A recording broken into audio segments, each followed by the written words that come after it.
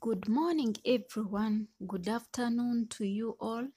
Good evening, my dear friends. Thank you so much for coming back to my subscribers. And thank you so much to those who have just clicked into this channel. Thank you so much. I really appreciate for your love and support. This is Mercy Merciful 21. I'm a housemaid in Saudi Arabia and uh, I'm proud because I'm working. Yes, in today's video, I want to share with you something. It's kind kinda like uh, different from what we've been doing. Like I've been answering your questions, but uh, to this specific to this specific one, I want to to tell you most especially the housemates.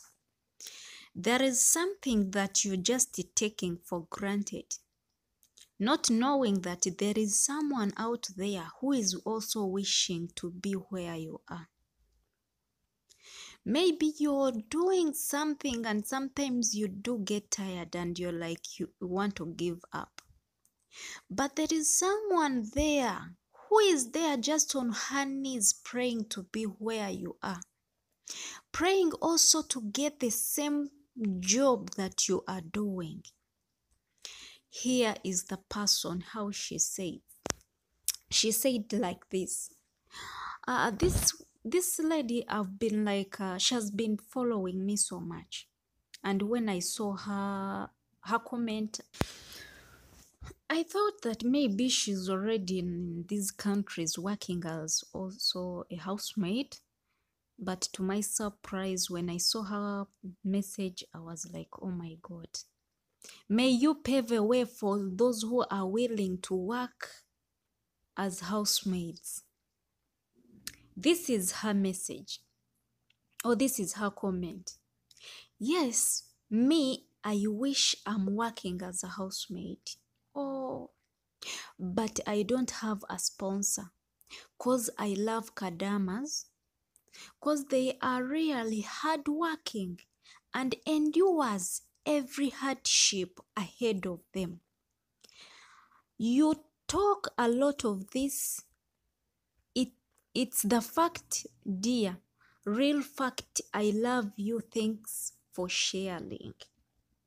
This is what she wrote. This woman knows that we do endure, but she's praying hard to get a sponsor and she's like willing to come and work. Though she knows there are so many hard hard times that we do face as how work as housemates, but she's also praying hard to be this side. So my dear friends or my dear house housemates. Before you say you hate this job, before you say you don't like what you're doing, remember there are so many ladies out there. They tried like years back, they even put in money, but they did not get a chance even to get their passports. They did not get a chance to get sponsors. But for you, you've got a chance, you already have this sponsor. You are already in the house, not even at the office. You're already in the house. But still, there are things that you are still taking for granted. But you're forgetting that there is someone on her knees praying to be there. There is someone on her knees praying to get also a sponsor and come and work. By the time I saw this comment, I was like, oh my God. If I was like I had something I'm complaining about, I should stop it. For sure. For sure, ladies. If you are there complaining that you might look at that work, maybe it's too much for you. It's too much, it's heavy, you can't handle. But there is this woman who is there praying to also reach there. And she's willing to endure, by the way. Did you know that sometimes God gives people meat to the that God give meat to those without teeth? Have you ever realized that also rich people their children they they don't normally get appetite for food? But you find a poor man's daughter with appetite yet they have nothing to eat. So it's like we housemates by the way. By the way this is not only for housemates but to everyone. Let it be in marriage by the way. Let it be in marriage. There is this man who is taking for granted that woman but there is also another man who is also praying to get that woman into her hands. So my message is we should not take things for granted. I normally say that always give your work a hundred percent because you don't know when or where your time will come. So sometimes if we take things for granted, we can't know. By the way, we can't know whether we are likely to stay on that job or not. At any time, something might happen, and you're like, you're dismissed when you're not ready. And yet, you've been taking, you've been just taking that job for granted. And let me tell you something, by the way. Some people, they don't always notice this. But there are some people who are willing to just let you go and they bring someone who is interested. If they see you, you're not changing, they keep telling you change this or do the other, and you keep doing differently, they are willing to take you back and they bring someone who is willing, who loves what she is doing. They don't they it's like sometimes we work as if we are forced. Yet we they put in their money. So always give your work a hundred percent because you can't know. Let me share with you this message by the way. I also saw a comment. Uh, there is this lady who, she is in oman by the, she's like a boss. Because uh, a daughter of um, a boss, I think, because she commented and she was like, uh, anyone who knows Mariam from Uganda, she worked in Oman years back. Baba is looking for her. She wrote her English and I got to, I understood what she was like saying. So to those who normally go through the comments, I think you saw that comment. So, if I may ask you, why do you think they are looking for that Mariam? Do you think they are looking for her because she did something bad? Do you think they are looking for her right now because she did something good? So, that's why I normally say always give your work 100% because you don't know when or where your time will come. Now Mariam worked in Oman few years back. But now right now their bosses are looking for her. To me that means Mariam was the best worker in that house. When you are a best worker in the house, you will always be remembered. You will always be yearned like they want to bring you back. They feel like they want to bring you back. But if you're not, if you you're not a good worker, or if you just take things for granted, they also notice. By the way, even though we do some things and they are not around, but even when we try to pretend, but they also notice that this person is also pretending. Okay, but then let us give our work a hundred percent. that Mariam left Oman years back, but she's now, they are yearning to get her, but they can't get her. Eh? I just got a comment in under my videos. They are looking for Mariam from Uganda. My dear friends, my dear housemates, it's high time to wake up. Me, I told you in the last video that when I was when I was still in my country, I didn't know how things are really done somehow, somewhere. But when I came this side, it's like, by the way, let me also first thank to those ones who take their time to comment, who take their time you take your time to watch my videos and put down a comment encouraging comments. This these comments how i wish i met you guys when i was still in the first house. How i wish i met these encouraging comments when i was still in the first house. Some people we've we've been yearning maybe to get like people who can talk to us, who can encourage us, who can tell us how we can change so that we can stick on these jobs. But we've failed. I normally watch some videos, even if it is just for fun, but I get something out of that video. I normally read your comments carefully, even if it is negative or positive but I always get something out of that comment.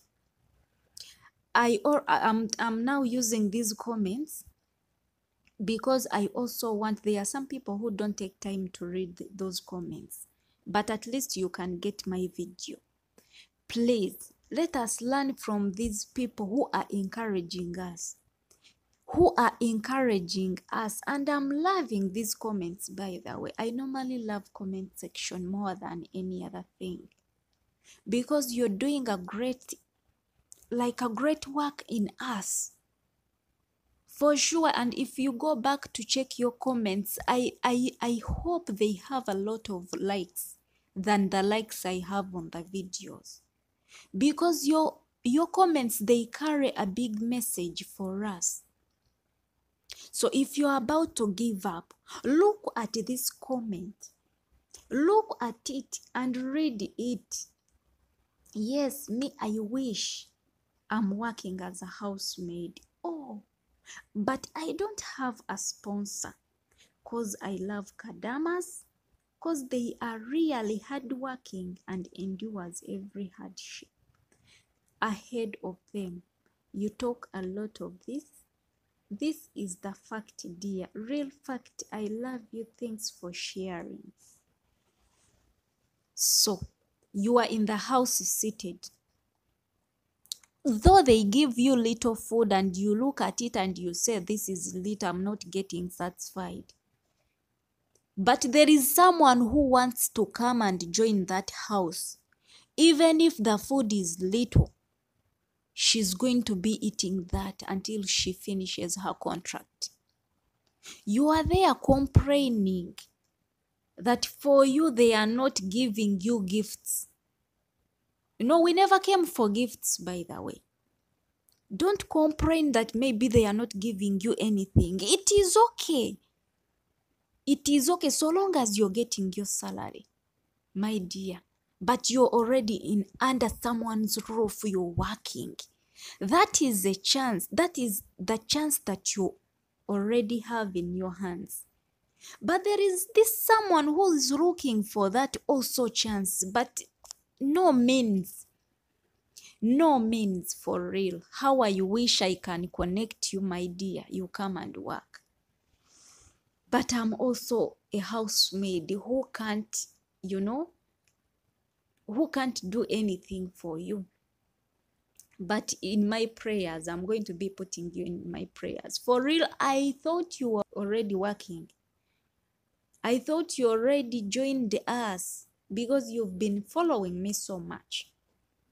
So, before you think that maybe where you are, that it's not good for you, that house is not good for you, please look another side and look for something good out of that house. You focus on that after you keep working until you finish. One time I met a video and uh, a certain housemaid from a certain country I won't mention, she was like, Do you know what?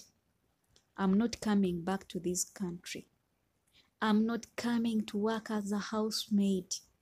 How I wish I reach at the airport and I tear out all the papers, my passports and everything.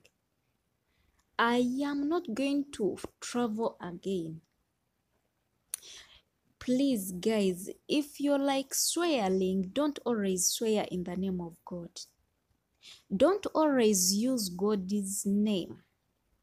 And you're like putting such a, should I call it, how should I call it? Such a word out using God's name. Because you can't know whether what you're planning to do when you reach in your country it is going to be successful before you say you won't come back and the world is going to see you by the way if you say i won't come back even the satan is there working hard for you to come back.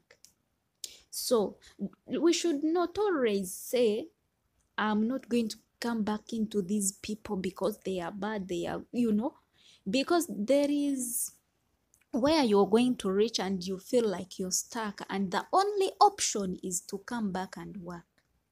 The only option is to come and work for those people maybe you will not have the money to process like uh, to process again like your papers again. But the only option you have and the easiest way is to call back your bosses and you plead for them. Please can you process for me and i come back and work for you? So even if you leave the house always leave the house in a good way let them dismiss you in a good way not in the bad way.